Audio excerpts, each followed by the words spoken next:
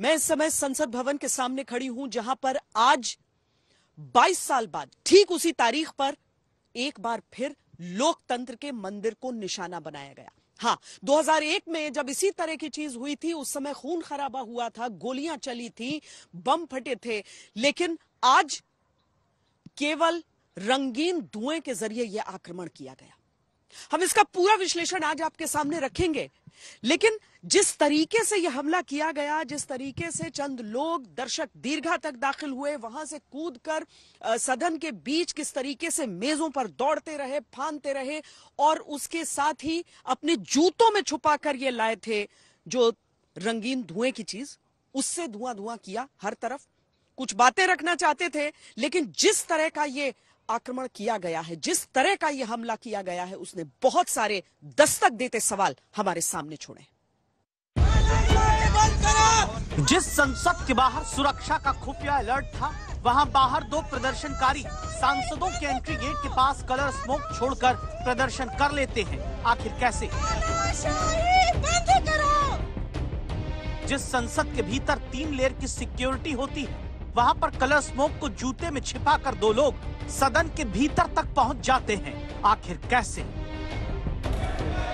जिस संसद के भीतर मोबाइल फ़ोन तक के काम आदमी नहीं ले जा सकता, वहाँ पर दर्शक दीर्घा से दो लोग सदन में कूद जाते हैं। आखिर कैसे? जिस संसद में सांसदों की सिफारिश पर बने, विजिटर पास एंट्री होती है, वहाँ पर मैसूर के बीजेपी सांसद ने सुरक्षा भेदने वालों को पास की सिफारिश कर दी आखिर कैसे? जिस संसद में बातें हाई सिक्योरिटी तक की कही गई, वहाँ पर 28 मिनट में अंदर और बाहर बड़ी सुरक्षा चूक हो गई, आखिर कैसे?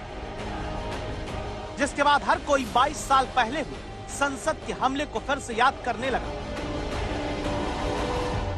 2001 में आज ही के दिन भारत की संसद पे कुछ आतंकवादियों ने हमला किया था।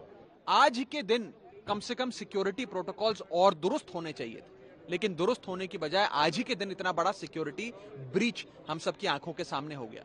अगर इस देश में संसद सुरक्षित नहीं है पार्लियामेंट सुरक्षित नहीं है तो फिर क्या सुरक्षित है? अगर विपक्ष का नेता आपसे कुछ कह रहा है आउट ऑफ़ कंसर्न कह रहा है आउट ऑफ़ सिक्योरिटी रीजन कह रहा है देश की सुरक्षा के लिए कह रहा है पार्लियामेंट की सुरक्षा के लिए कह रहा है उसको सीरियसली लेना चाहिए। आज जो हुआ लोकसभा में ये सदन की सुरक्षा पे एक बहुत बड़ी सेंध है। आज वो एक कलर स्प्रे था कल कुछ भी केमिकल हो सकता है किस तरह से लोग अंदर आए और दोनों वहाँ से जम किए ये बहुत बड़ी सेंध मारी है और ये बहुत ही गंभीर विषय है। इतना बड़ा सिक्योरिटी लैप्स हुआ है आज जूते में तो कोई छोटा बम भी ला सकता था। अगर इस तरह से लैप्स होंगे तो पा, पार्लियामेंट क्या हमारी सेफ़ है? संसद की सुरक्षा में चूक का ये बड़ा मामला उसकी कई वजह है। सबसे पहले मैं आपको बता दूँ कि खुफिया एजेंसियों को पहले से ही इनपुट था कि 13 दिसंबर को संसद भवन के आसपास कुछ लोग हंगामा कर सकते हैं। उसके अलावा 13 दिसंबर 2001 को ही संसद भवन पर आतंकियों ने हमला किया था। स्पेसिफिक इनपुट के बावजूद भी न सिर्फ़ संसद भवन के बाहर हंगामा हुआ, बल्कि संसद भवन के अंदर भी जमकर हंगामा हुआ। इसलिए एजेंसियाँ इसे सुरक्षा में चूक का बड़ा मामला मानकर चल रही हैं। संसद में सुरक्षा चूक की शुरुआत पार्लियामेंट के इस गेट के बाहर से होती है। संसद के भीतर जाने वाला वो दरवाज़ा जहाँ से सांसद प्रवेश करते हैं। इसी गेट से सिर्फ़ 100 कदम की दूरी पर। बुधवार दोपहर बारह बजकर तैतीस मिनट का वक्त था। लाल और पीले रंग का कलर स्मोक छोड़कर दो प्रदर्शनकारी नारेबाजी शुरू करते हैं।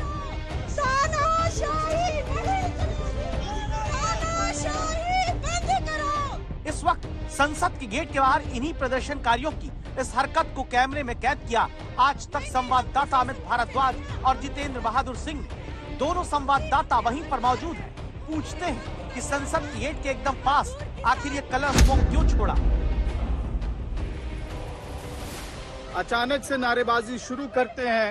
हम उनसे भी पूछने की कोशिश करते हैं आखिरकार कौन है? कौन है मैम? आप क्यों नारेबाजी कर रहे हैं आप ये जो तानाशाही हो रही है ना जो हमारे अधिकारों को खत्म किया जा रहा है जनता की आवाज़ को नहीं सुना क्या जा नाम रहा है है। आपका? मेरा नाम नीलम है और हर बंदा हमारी तो ये हम ये जो पटाखे फोड़े आप लोगों ने नारेबाजी की क्या नाराज़गी है आपकी? हमारी जो हमारी भारत सरकार है हम्म। जो हम पे ये अत्याचार हो रहे हैं हम अपने हकों की जो बात करते हैं लाठी चार्ज करके हमको अंदर जा डाला जाता है टॉर्चर किया जाता है तो हमारे पास कोई माध्यम नहीं कोई डायरेक्ट वजह है? कोई वजह है? किसी संगठन से आप? नहीं नहीं हम किसी संगठन से नहीं है। संसद के बाहर प्रदर्शन करने वाली ये महिला कौन?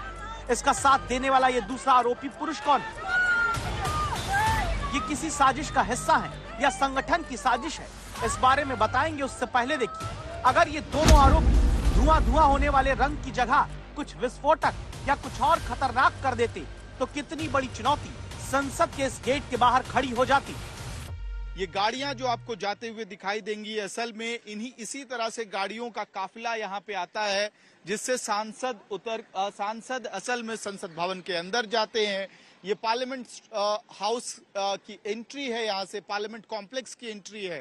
ट्रांसपोर्ट भवन का ये इलाका है तो आमतौर पे कई सारे सांसद इसी एंट्रेंस का इस्तेमाल करते हैं। यानी कि सिक्योरिटी के लिहाज से, सुरक्षा के लिहाज से ये बड़ी चूक मानी जा रही है।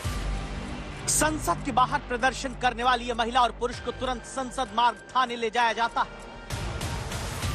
जो डीसीपी नई दिल्ली है उन्होंने आज तक को बताया है कि एक महिला, उसका नाम नीलम है, जबकि जो दूसरा पुरुष है, उसका नाम अमोल है। जो महिला है, वो हरियाणा के हिसार के रहने वाली है, जबकि जो अमोल है, वो महाराष्ट्र का रहने वाला है। लोकल पुलिस के अलावा स्पेशल सेल और इंटेलिजेंस ब्यूरो की टीम लगातार दोनों से पूछताछ कर रही है।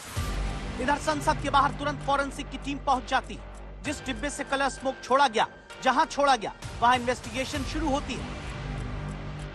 फॉरेंसिक व्हीकल जो दिल्ली पुलिस के पास मौजूद है उसको लेकर के यहाँ पर टीम पहुँची हुई है। और आप देखिए कि यहाँ पर जो एविडेंस है, उसको कलेक्ट इस वक्त किया जा रहा है। सबसे खास बात यह है कि जिस लोकेशन पर यहाँ पर जो कलर स्मोक का इस्तेमाल किया गया था, उस कलर स्मोक वाली जगह पर फॉरेंसिक एक्सपर्ट मौजूद हैं।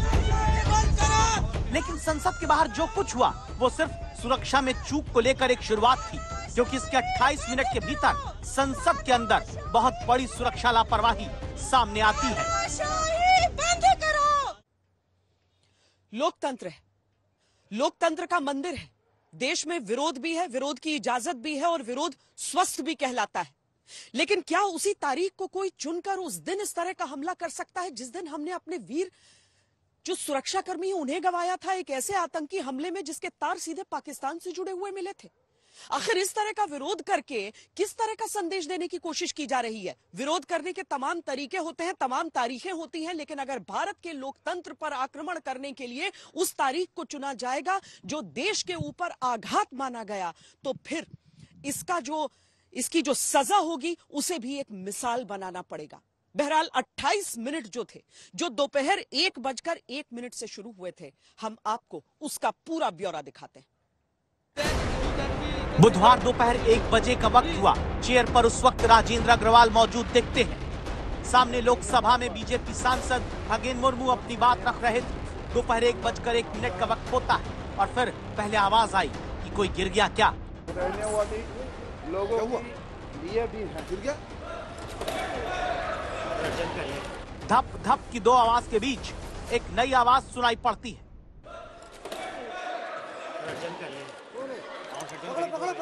और फिर तुरंत चेयर पर मौजूद राजेंद्र अग्रवाल सदन को स्थगित करने लगते हैं। सभा की कार्यवाही दो बजे तक के लिए स्थगित की जाती है। चेयर पर मौजूद राजेंद्र अग्रवाल अपनी बात पूरी भी नहीं कर पाए। तब तक सांसदों के बीच कूदा हुआ एक शख्स नज़र आता है जो एक के बाद एक सांसदों के बीच ही मेज बांधता दिखता है। फांदते फांदते सदन में कूदा हुआ ये शख्स अपने जूते से कुछ निकालता नज़र आता है। इस शख्स को घेरने के लिए आगे बढ़ते सदन के ही सांसद नज़र आते हैं। अब यहाँ क्या हुआ है ये जान लीजिए। दोपहर एक बजकर एक मिनट पर लोकसभा में पहले सागर शर्मा और फिर मनोरंजन नाम के दो युवक कूदे। सागर और मनोरंजन लोकसभा के भीतर दर्शक दीर्घा में बैठे थे। दावा है कि सागर शर्मा नाम का आरोपी सदन में सांसदों के बीच मेज पर फांदता दिखता है जो अपने जूते में लाए गए। कलर स्मोक को निकाल कर छोड़ने की कोशिश करता है। तब तक इसको सदन के भीतर मौजूद सांसद हनुमान बेनीवाल मलूक नागर गुरजीत सिंह समेत कई और सांसद मिलकर पकड़ते हैं पीटते हैं सुरक्षा कर्मियों के हवाले करते हैं। सावधानी जो बरतना चाहिए था वो सावधानी हम नहीं बरतते ओके। हैं दूसरी बात सर ये बात है कि देखिए और एक आज बड़े दिलचस्पी के साथ बड़ी हिम्मत के लिए कहने में अच्छा लगता है कि ये दो शख्स को सर हमारे सारे एमपी ने दबोच लिया। सारे हमारे एमपी ने नीडर होकर नीडर होकर हमारे सारे एमपी ने उनको दबोच दबोच लिया था। 2001 में जब संसद में हमला हुआ तब आतंकवादी संसद परिसर के भीतर बंदूकों के साथ घुसे थे लेकिन सदन के भीतर नहीं दाखिल हो पाए थे। जबकि 2023 में सुरक्षा में जो सेंध लगी वो एकदम सदन के भीतर तक हुई जहाँ दो लोग दर्शक दीर्घा से सदन के बीच सांसदों के बीच कूदकर खड़े हो जाते हैं। सोच कर देखिए, अगर इस शख्स के हाथ में कलर स्मोक नहीं, बल्कि कोई बंदूक या दूसरा हथियार होता, अगर ये दोनों जूते में छिपा कर कलर स्मोक नहीं, बल्कि कोई हथियार ले आते, अगर ये सिर्फ़ धुएँ वाला रंग नहीं, बल्कि कोई जहरीला पदार्थ या गैस होता तो क्या स्थिति बन सकती थी? सदन जब दोबारा दो बजे शुरू हुआ तो स्पीकर ओम बिरला भरोसा देते हैं कि जाँच पूरी होगी, चिंता की बात नहीं। जो घटना शून्यकाल के समय घटित हुई थी। उस घटना की लोकसभा अपने स्तर पर संपूर्ण जाँच कर रही है और इस संबंध में दिल्ली पुलिस को भी आवश्यक निर्देश दे दिए गए हैं।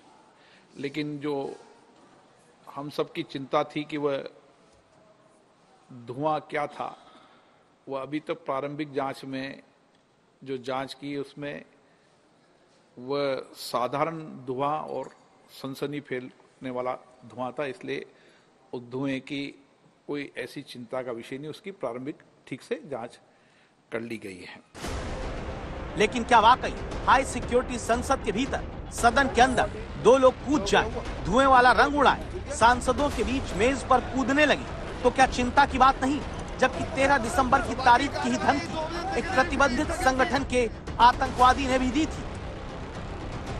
तेरह दिसंबर को एक बैन ऑर्गेनाइजेशन ने बाकायदा यह दावा किया था कि वो पार्लियामेंट के आसपास कुछ हंगामा करेगा कुछ बवाल करेगा। इस तरह के स्पेसिफिक इनपुट थे दिल्ली पुलिस को भी इस बारे में जानकारी थी और तमाम सेंट्रल एजेंसीज को इस, इस बारे में जानकारी थी। वो किस तरह का स्पेसिफिक इनपुट था एक सांसद ने बाकायदा उसको ट्वीट करके जानकारी भी दी है उनके ट्विटर हैंडल पर उसको देखा भी जा सकता है। हालाँकि उस शख्स का नाम हम यहाँ पर लेना नहीं चाहेंगे लेकिन एक प्रतिबंधित संगठन है उसने बाकायदा थ्रेट किया था। और खासतौर से जब संसद भवन की बात आती है तो एक एक चीज़ को बारीकी से एजेंसियाँ देखती हैं।